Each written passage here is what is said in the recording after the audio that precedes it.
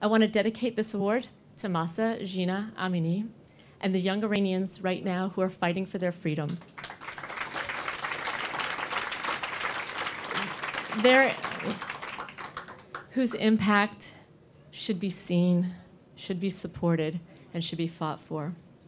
Mahsa Jina is a young Iranian woman of 22 years old who had a passion for life, whose family and their community adored her, and who was about to begin university for microbiology and one day medicine.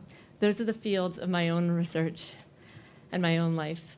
But her dream was cut short because when she died unjustly in the custody of the Iranian morality police.